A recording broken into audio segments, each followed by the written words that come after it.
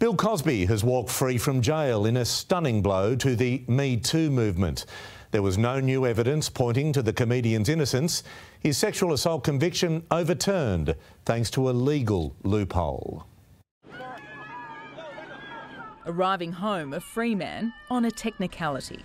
Bill Cosby flashing the peace sign before taking his first tentative steps outside prison walls. His team jubilant, the Pennsylvania Supreme Court vacating his conviction.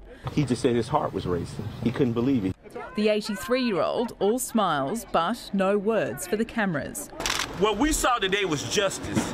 Justice for all Americans. Later telling a US news program.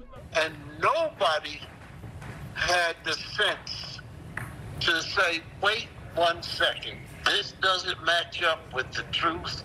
This was the first high profile case of the Me Too movement. A jury in 2018 convicted Cosby of three counts of aggravated indecent assault against Andrea Constand, drugging and molesting her in his home.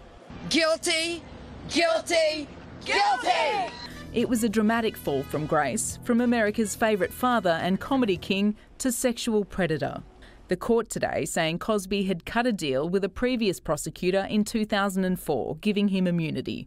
A different prosecutor later ignored the deal and used Cosby's words against him. You can't have a system where prosecutors don't hold up to their words. Today's shock ruling a blow to his many accusers, more than 50 women dating back to the mid 1960s. And it should not be interpreted as a statement or a finding that he did not engage in the acts of which he has been accused.